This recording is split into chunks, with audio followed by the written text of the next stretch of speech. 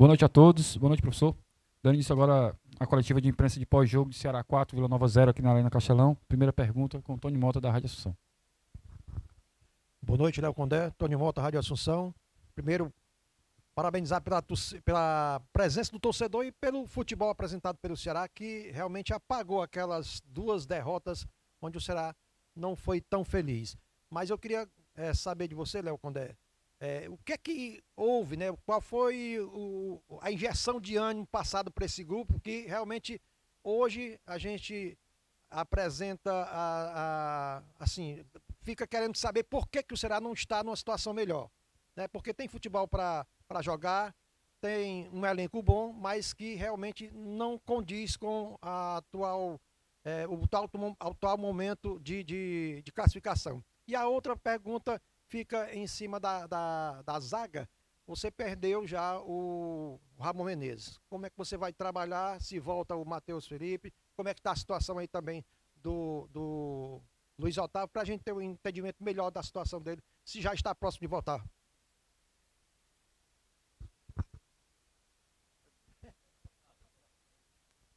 Oi, boa noite, tá? Bom, pessoal, boa noite a todos. Bom, realmente a gente, a gente conseguiu fazer um bom jogo. É, o que a gente passou para os jogadores foi no sentido da gente é, repetir algo que a gente já fez dentro da competição. Eu acho que assim, desde quando eu cheguei aqui, a gente tem feito bons jogos aqui no Castelão, é, vencendo a maioria dos jogos e acredito eu que jogando bem, com exceção do jogo do Mirassol, que a gente, mesmo jogando bem, fazendo um jogo bastante é, consistente, a gente não conseguiu vencer. Aí são coisas do futebol. Né? Talvez fora de casa a gente tenha oscilado um pouquinho, eu acho que é o ponto de equilíbrio que a gente tem que buscar, apesar da gente ter vencido o CRB e empatado com o Manaus, essas duas derrotas agora que não realmente a gente não conseguiu é, trazer bons resultados. Mas eu acredito que se a gente continuar nesse nível de atuação que a equipe vem apresentando, não foi só hoje. Se buscar aí atrás, Botafogo de Ribeirão, a gente jogou dessa forma.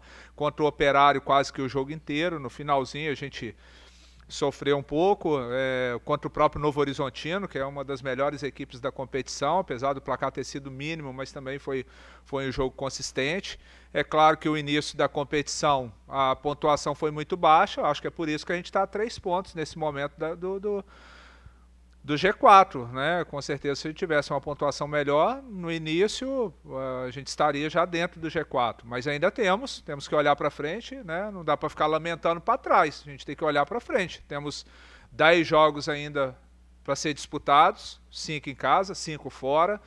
E se a gente conseguir, né, é, repetir é, esse nível de atuação, a gente está próximo de conseguir os resultados. É claro que o futebol tem as suas particularidades, às vezes você joga bem, não consegue vencer, mas a gente tem que ir passo a passo, é, é, manter o grau de competitividade, de concentração, como, como foi hoje.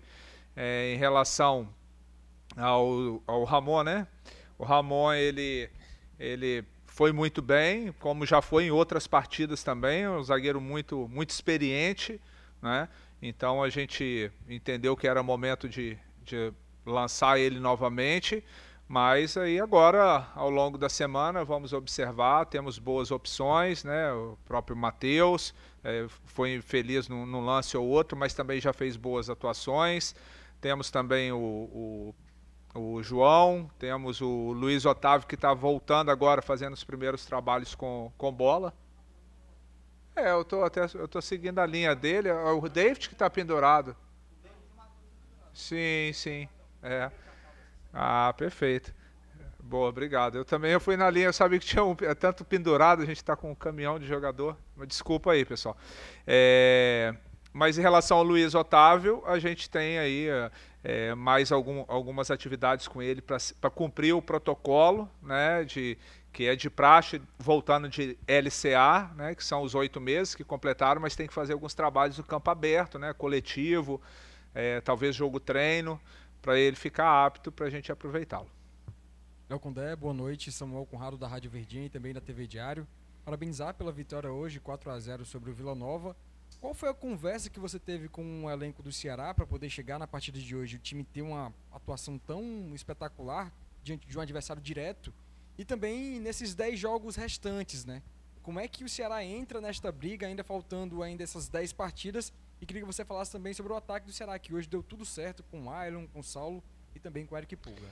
É, o que eu passei para os jogadores foi no sentido de que, assim, é, o futebol, apesar de fazendo esse recorte das duas últimas partidas, que a gente teve momentos bons, momentos não tão bons, né? no aspecto ofensivo a gente está sempre produzindo, a gente precisava de um pouco mais de equilíbrio é, defensivo, mas a gente passou confiança para eles, né? de que mesmo vindo de dois resultados adversos, mas a gente teve boas apresentações, principalmente nos jogos aqui no Castelão, então não poderia, porque o aspecto emocional conta muito, né? A gente conhece um pouco a divisão aí, sabe que vai ter alternâncias dentro dela, momentos que você vai conseguir sequência de vitórias, momentos que de repente você vai agarrar um pouquinho ali, você tem que manter a, o, o grau de concentração e confiança elevado.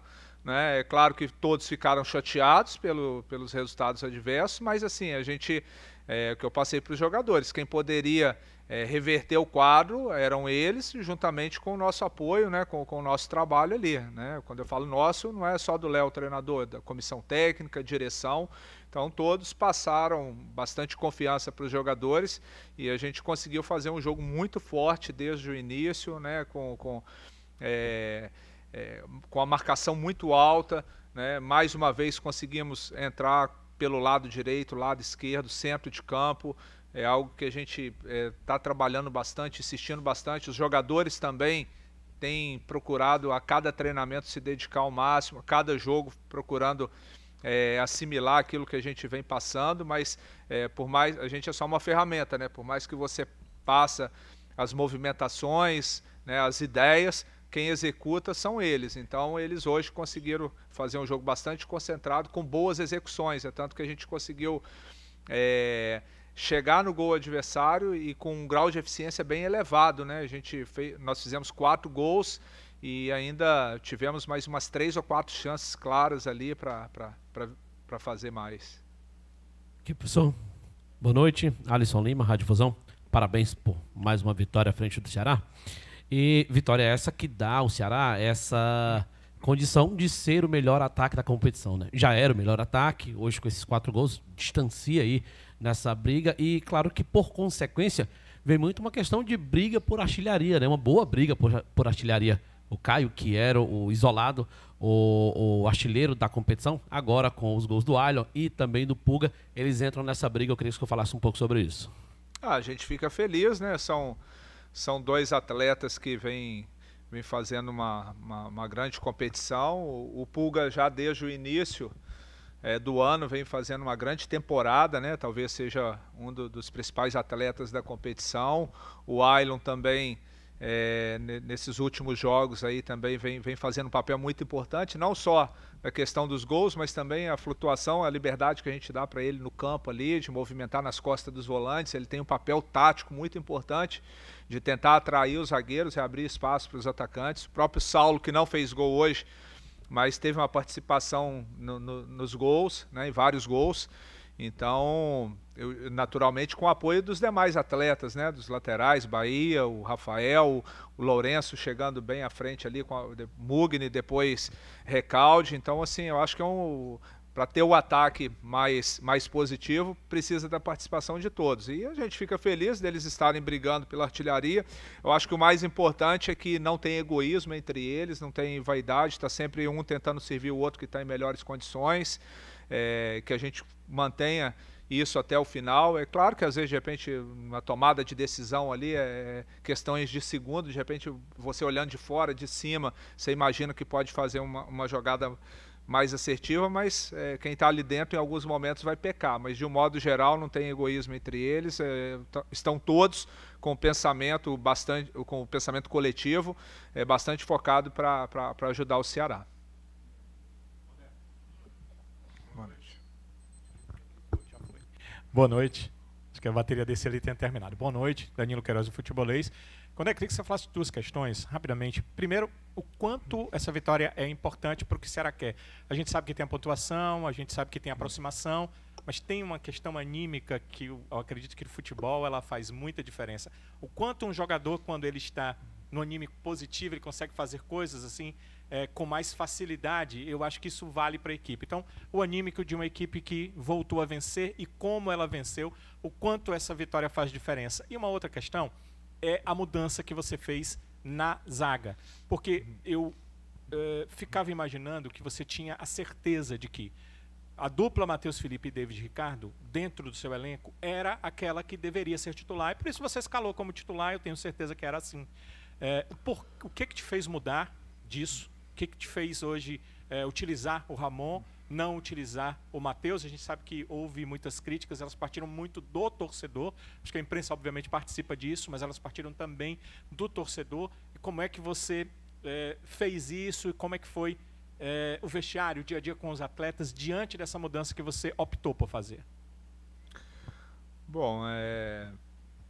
em relação à primeira pergunta, em relação à vitória, realmente é, foi fundamental e razão da gente ter vindo de duas, de duas derrotas, né? mesmo sendo fora de casa, apesar que antes das duas derrotas a gente estava quatro jogos invictos, né? sendo que a gente conseguiu resultados importantes. É, vai ter oscilação dentro da competição, porém está chegando no momento que está se afunilando, momento decisivo. Então a gente precisava dar uma resposta o quanto antes. E eu acho que hoje, mais do que a resposta, não só pelo resultado, é, a gente mandou um recado para todos, principalmente pela atuação, né? Que o Ceará ele está vivo na disputa e acredito que se a gente conseguir repetir essa atuação como a de hoje, é, a gente com certeza a gente vai conseguir bons resultados aí nessa reta final. Em relação à mudança, é, com todo respeito ao torcedor e principalmente a vocês da, da, imprensa, é uma decisão nossa, não tem influência, tem naquilo de dia a dia. A gente procura sempre, é, nesse momento, você tem que ter uma equipe base, até porque a gente só tem uma competição em disputa, né? Às vezes, de repente, quando é, tem muita comparação, ah, o outro time está rodando, o outro time está trocando e tal, às vezes, de repente, são equipes que estão jogando várias competições. A gente tem só uma competição, a gente tem que ter uma equipe base, e o Ceará tem uma equipe base.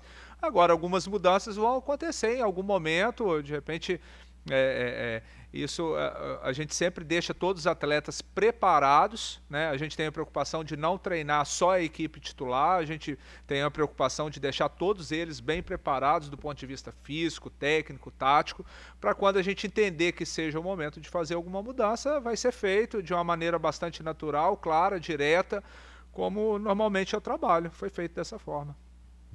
Condé, parabéns pela vitória, Lucas Catribe, Globo Esporte é, naturalmente não é normal, né? É raro você perder dois goleiros ao longo da temporada. Eu sei que você não estava quando o Fernando Miguel se machucou, mas dois goleiros experientes, Fernando Miguel depois o Richard.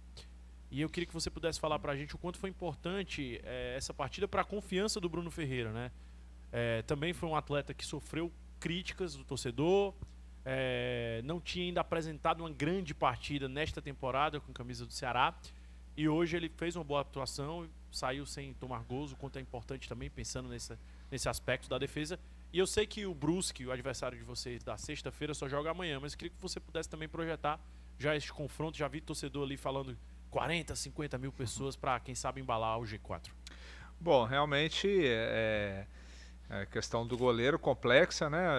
O, o clube trouxe o, o Fernando, um goleiro muito muito experiente, acabou no início do ano machucando. O Richard, uma das referências, é, não só dentro de campo, como fora de campo, um jogador muito, muito importante, tem uma história bonita aqui dentro do clube. E na última partida acabou o Bruno entrando, digamos, naquela fogueira, né?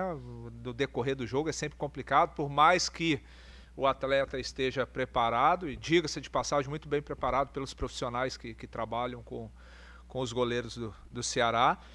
E, mas entra frio ali, acabou né, não tendo tanto tempo junto com a equipe ali, que tem algumas situações, como o gol mesmo que ele sofreu do Coritiba, né, posicionamento de barreira, o goleiro titular já está mais ambientado de posicionar essas coisas todas. Ele teve essa semana para a gente fazer, esses dias, né, para a gente fazer o trabalho com ele, junto com, com, com, com os demais atletas, mas hoje teve uma atuação muito segura em todos os momentos do jogo, né? Além de ter participado do quarto gol, né? De forma efetiva ali, achando o lançamento para o Pulga.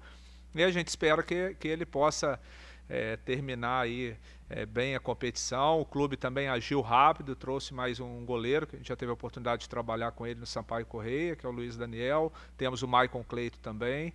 Então acredito que a gente é, nós vamos ter assim é, bons jogadores para essa posição até o restante da competição. Em relação à próxima partida, realmente é, não não tem jogo fácil na competição, eu já até salientei isso em outros momentos atrás. Aí a, a, competição vai ter os jogos das equipes brigando na parte de cima da tabela, como foi o jogo contra o Coritiba, como foi o jogo hoje contra o Vila, e vai ter os jogos contra os adversários que, que estão na parte baixa. Né? Então nós perdemos o Chapecoense lá, que ganhou hoje do Havaí, então as equipes que estão embaixo vão jogar a vida. A gente sabe que que, que o Brusque também vem aqui, né? Pra, com certeza vem com o intuito de pontuar. Um treinador que conhece a divisão, estava aqui na, no, no, Floresta, muito experiente também, que é o Marcelo Cabo. A gente tem que estar muito bem preparado para fazer assim um, um, jogo forte e a gente fica feliz de saber, né? O torcedor é, hoje veio um, um número um pouco menor do que veio na última partida, talvez até pelos resultados fora, até natural, mas quem veio aqui apoiou a equipe do começo ao fim, está acreditando realmente e a gente espera contar com esse apoio do torcedor nesses cinco jogos finais, que possa realmente encher o Castelão e ser o nosso 12 segundo jogador, ser o nosso, nosso centroavante ali, que é, a gente espera que no final a gente possa comemorar junto.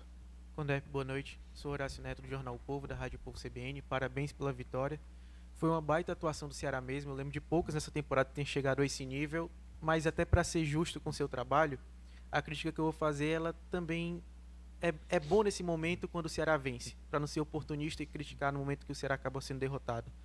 É, eu queria saber de você a insistência de alguns atletas, a insistência de algum, assim, ah, perdão, acabaram me atrapalhando aqui, mas vou falar com você. Eu queria saber um pouquinho da sua insistência com alguns atletas que, na minha concepção, e você tentou discordar com uma palavra final, não vem desempenhando tão bem quanto outros que acabam Quem, entrando. por exemplo? Que você acha? Pronto. Eu vou mencionar o Deluca e vou mencionar o Rafael e até vou explicar para vou explicar os dois para ser justo. Até poderia mencionar o Matheus Felipe, mas teve a mudança de hoje e eu queria perguntar em relação a eles. Primeiro, Deluca, eu queria entender qual é a função que ele faz na sua perspectiva até para explicar porque na minha percepção, e repito, você tem muito mais conhecimento do que eu e muito mais autoridade para poder falar. A dupla talvez ideal pelo, pelo que foi apresentado nos últimos jogos seria Richardson e Lourenço. E também na lateral direita, eu queria entender também a função do Rafael, que ele faz também até para justificar a titularidade dele, porque o Raí é um cara que tem problemas defensivos também, imagino, mas é um jogador que vinha de uma temporada muito boa no Ceará, vinha se destacando muito bem e perdeu a vaga para o Rafael. Até repito, para não ser mal educado em relação a nada disso, querer que ter mais do que você. Eu queria só perguntar mesmo a sua perspectiva em, em, em, relação a esses jogadores, a função que ele faz e que justifique até porque eles sejam titulares. Olha, vou, vou, ter, vou, ter, vou ter o máximo de cuidado para ser respeitoso com você. É, que a gente tem que ter muito cuidado, principalmente na hora de expor atleta aqui. Assim, eu estou no futebol há 25 anos, então assim, eu já é, já errei, já acertei muito nessa caminhada, que é natural de ser humano em qualquer, em qualquer função. E você, como, e a gente como treinador de futebol, né, é, a gente tem que analisar todo o conjunto, toda uma estrutura né, na montagem de uma equipe, você mandar uma equipe competitiva para para campo, né? Assim, quem está de fora, a gente tem máximo de respeito, volto a reiterar isso com o torcedor e com vocês da imprensa que acompanham é, que às vezes de repente parece simples você trocar um ah, o jogador não foi bem, vou trocar ele hoje. Aí no outro jogo o outro falhou, vou trocar esse, vou trocar.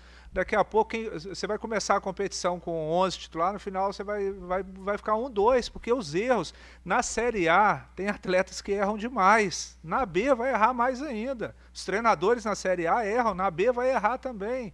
Então assim, quando você define determinado atleta, só para citar um exemplo do Rafael, é, aí o que eu te falo, às vezes de repente você tem a ótica do atleta, a gente tem a ótica do todo. O Rafael ele marcou simplesmente os melhores atacantes nos últimos jogos dos adversários que a gente jogou.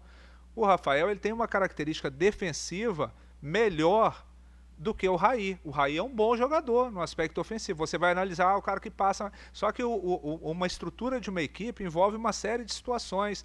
Então, o que, que a gente faz? Normalmente a gente prende um pouquinho mais o Rafael para liberar um pouco mais o Matheus Bahia. Aí, se você tiver um pouquinho de boa vontade, você vai perceber que a maioria dos nossos gols sai pelo lado esquerdo. Mas para sair os gols pelo lado esquerdo, nós precisamos equilibrar o lado direito também, senão nós vamos ficar muito exposto.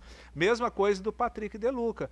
Né? São, é, é, você analisar individualmente, eu não vou falar quem é melhor, se é o Richard, se é o Lourenço, se é o Patrick, se é o, é, o, o Jean, são características diferentes. Você tem que equilibrar a equipe. O Patrick, ele faz a proteção ali e a saída de bola com a característica dele. Ele casa com, com, com o Richard, ele casa com o Lourenço. Às vezes vai ter jogo que a gente vai, de repente, usar o Lourenço e o Richard, vai usar. É, que bom que a gente tem atletas com essas características, só que eu tenho que analisar o todo. Agora, individualmente, talvez é, o Matheus, que também fez bons jogos em alguns momentos, nos últimos não foi tão bem. Aí a gente troca e coloca um atleta, que aí é uma questão individual. Agora, só que tem outras questões que passa do ponto individual, que, a gente tem, que é a conjuntura da equipe. Essa é a questão. Talvez, assim, aí vai prolongar muito aqui a, a explanação. Léo, Alexandre Mota aqui, do Diário do Nordeste. Parabéns pelo resultado. Queria saber, até com esse período mais longevo já de trabalho, se você considera essa talvez a melhor exibição da equipe sob seu comando porque foi um volume de jogo muito grande. O time já havia até feito quatro gols em outras partidas, mas nessa ocasião também não sofreu gols, não foi vazado. E desde que você está aqui, eu considero as suas colocações muito lúcidas. Vou lembrar logo no início: o Ceará sofreu duas derrotas. E naquele momento você falava de uma pontuação para o Ceará voltar a brigar até o fim do primeiro turno ainda. Eram quatro jogos, precisava somar oito pontos naquele momento. Agora a gente está chegando na reta final da Série B, são dez jogos. Como é que você projeta também essa sequência em termos de pontuação de fato? Qual é a estratégia que o Ceará está projetando, até porque metade desses confrontos são também na Arena Castelão? É, assim, realmente eu tento ser o mais realista possível, né? Uma característica minha, não vou, não vou ficar iludindo, contando história para ninguém. É, é, a gente conhece a, a, competição, já disputo ela assim há um bom tempo, é, e assim, não dá para cravar 100%, mas talvez a, média né, dos, dos, últimos anos aí é 62 pontos, que pode, pode dar o acesso. Hoje a gente precisaria de 20. Pode ser que, que vai precisar de 63, talvez com 61 suba.